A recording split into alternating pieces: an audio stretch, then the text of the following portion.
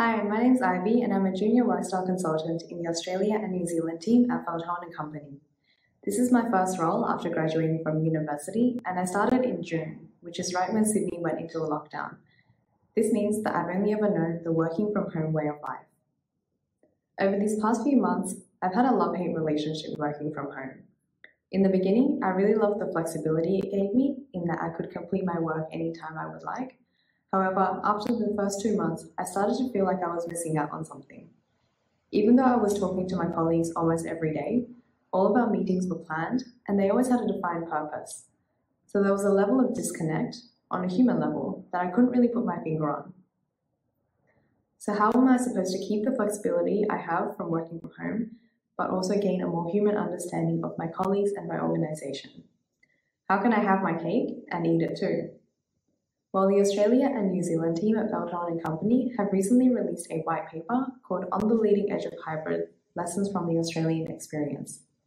We surveyed over 1,500 respondents and we found that people would like to do activities such as socializing and brainstorming from the office more so than any other location. This means that the future office, fit for hybrid times, should encompass a high level of human interactions and human connections. In our paper, we also outline five elements that are crucial in defining a successful office space in hybrid times. Four of these five elements are centered around human interactions. The first is to create a space that allows for people to think as a team rather than as an individual. The second is to create opportunities for socializing to satisfy our social well-beings. The third is to create opportunities for serendipitous encounters, such as water cooler chats and corridor conversations, and the fourth and final element is to create a space that champions a central purpose.